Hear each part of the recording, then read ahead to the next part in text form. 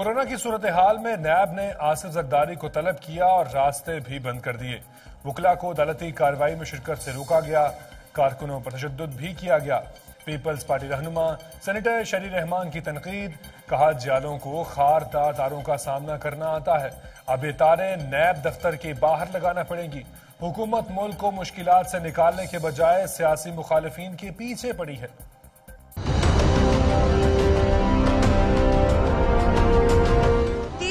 नाके पे हमारे वकला को पीछे हटाया गया।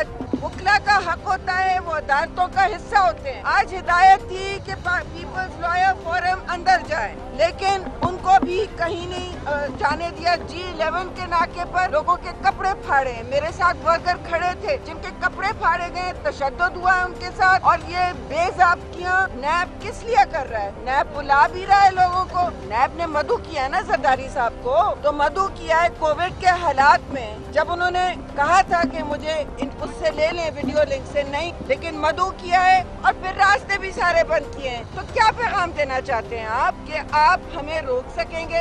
ये भी आखिर नाका था। नाका खारदार तारों का सामना करना पीपल्स पार्टी और मीडिया दोनों को आता है। और नैब अब इतना मुतनाज़ा इदारा हो चुका है कि ये तारे ही लगानी पड़ेगी इस दफ्तर के सामने। क्योंकि आलमी इदारे ह्यूमन राइट्स वॉच ने उनका मज़ाक उड़ाया है। पाकिस्तान बार काउंसिल ने शदीद रद्द अमल दिया है।